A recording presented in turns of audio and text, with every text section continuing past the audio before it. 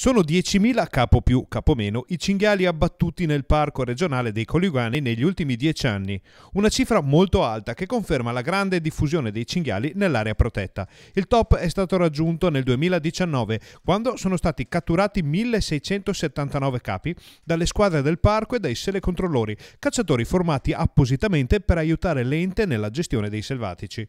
Il cambio di passo è arrivato nel 2016, quando gli abbattimenti hanno superato abbondantemente quota 1000 Prima si parlava di centinaia di catture, troppo poche secondo gli addetti ai lavori, per poter incidere sensibilmente sul numero dei cinghiali presenti nelle colline padovane. Resta da capire se questi numeri, seppur alti, possano rivelarsi decisivi per eliminare il problema. Data la prolificità della specie e la facilità che i branchi hanno nel trovare cibo tra vigneti e campi coltivati, gli abbattimenti e le catture possono al più contenere il numero, ma non certo eliminare la presenza dei cinghiali. Per il parco è comunque un risultato ottimale. Nel 2019 è un, è un record, voglio dire.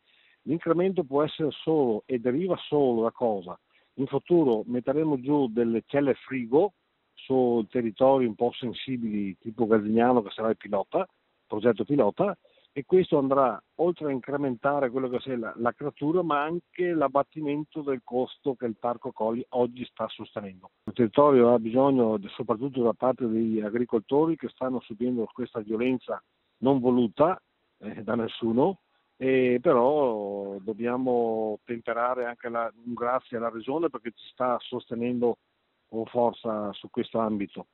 Il nostro obiettivo è di abbattere i più cinghiali possibili è ovvio e lo dobbiamo dire che l'eliminazione totale sarà difficile, però ottenere un controllo ben basato su, sui cinghiali sicuramente sì.